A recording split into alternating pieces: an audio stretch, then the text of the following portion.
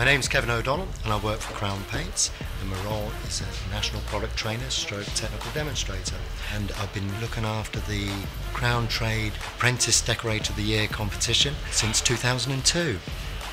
Today we're at Blackburn Fylde College. We have 15 national regional heats, which that includes Northern Ireland. Through the regional heats, we'll select the 12 highest scorers from all the regions to be invited to our national final, which we held in Leeds this year in the autumn.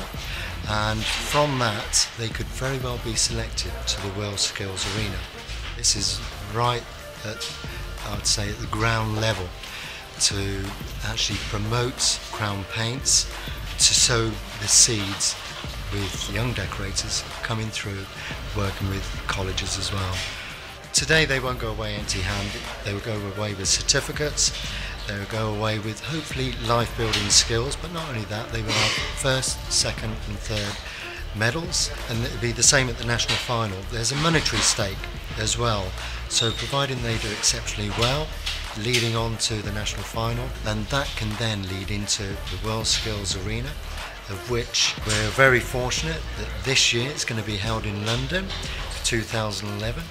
Crown obviously manufactures paints, but it's not just all about the paint, it's having that personal touch, and that's the biggest enjoyment that I get out of it.